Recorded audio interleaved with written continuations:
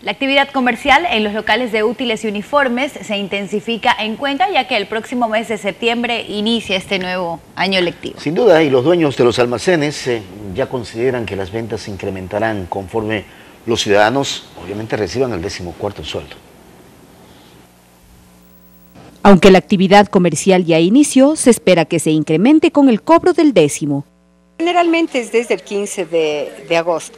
Esperemos que desde el día lunes, que ya cobran sus décimos, entonces los clientes también vengan, acudan acá al almacén a hacer las compras. Los costos no han variado, no obstante esta época implica un esfuerzo extra para todos, mucho más cuando se tiene más de un hijo no ha variado.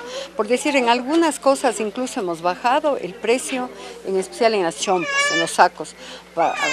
La calidad no ha cambiado, pero el precio hemos bajado un poco. Parece ser que los precios están como el año anterior. Pero prácticamente este año nuestro papá nos está ayudando en el tema de los uniformes, porque sí es bastante el gasto. Así la preocupación de quienes somos padres en esta época se enfoca en proporcionar a nuestros hijos los recursos para su formación académica. Sandra Vélez, Telerama Noticias.